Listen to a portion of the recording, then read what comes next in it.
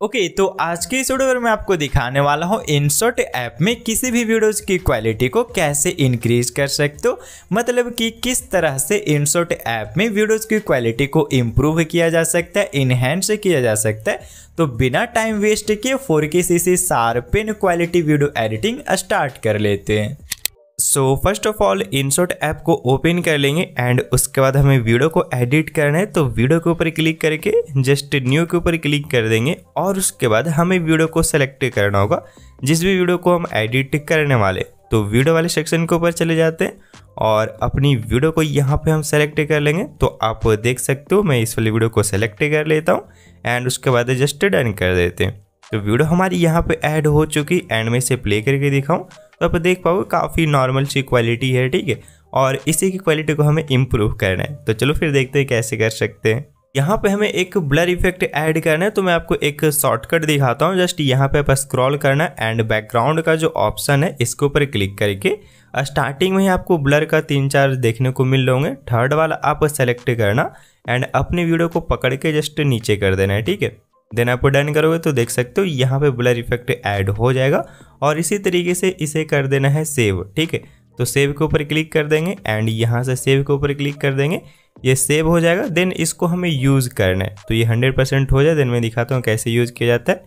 Just back करके यहाँ पे आप बैक कर लेना मीन्स नॉर्मल वीडियो आ जानी चाहिए। देन उसके बाद पीआईपी का एक ऑप्शन मिल रहा होगा, इसके ऊपर क्लिक करना है। एंड फिर से अभी जो आपने एक्सपोर्ट किया है, उसे सेलेक्ट करके जस्ट ऐड कर लेना हैं। तो ये ब्लर वाला ऐड हो गया। अब यहाँ पे हम क्लिक करेंगे तो ये पूरा स्क्रीन फिल हो जाएगी। देन हमें यहाँ पे इसका ब्लेंडिंग को चेंज करना होगा तो ब्लेंड के ऊपर जाते हैं और यहाँ पे आपको डार्कन को सेलेक्ट करना है। देन उसके बाद करना है डन और डन करके इसे भी कर लेना है आपको सेव। तो सेव के ऊपर क्लिक करते हैं एंड उसके बाद इसे भी हम यूज़ करने वाले। बस इसी बार आपको एक्सपोर्ट करना है, देन और करने की ज़रूरत हमें नहीं है, ठीक है? तो ये हंड्रेड हो गया।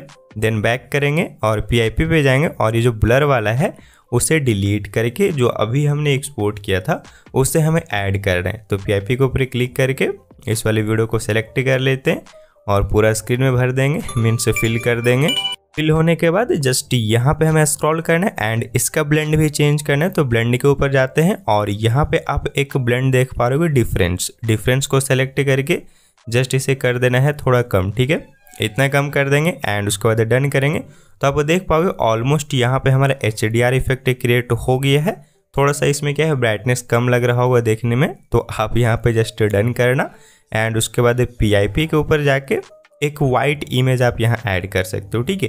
तो प्लस वाले बटन के ऊपर क्लिक करते हैं फ़ोटोज़ वाले सेक्शन के ऊपर जाते हैं एंड एक वाइट इमेज को सिलेक्ट करके जस्ट इसे पूरा स्क्रीन में फिल कर देंगे।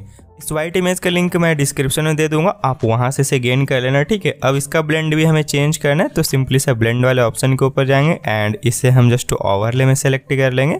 देन यहाँ से आप देख सकते हो कि कंट्रोल कर पाओगे ब्राइटनेस को, जितना रखने में सही लगे उतना रख लेना एंड आपको करना है डन देन उसके बाद इसे पूरा वीडियो में आपको कर देना होगा इंक्रीज ठीक है? देन आप देख सकते हो हमारा जो एचडीआर इफ़ेक्ट है और हमारी जो वीडियो की क्वालिटी है, दोनों इम्प्रूव हो चुकी है, दोनों अप्लाई हो चुका है, ठीक है? तो इस तरीके से किया जाता है। अब उसके बाद सिंपली से सेव वाले बटन के ऊपर क्लिक करेंगे और इसे सेव कर लेंगे। तो देख सकते हो इस तरीके से हम इसे एडिट कर पा रहे हैं।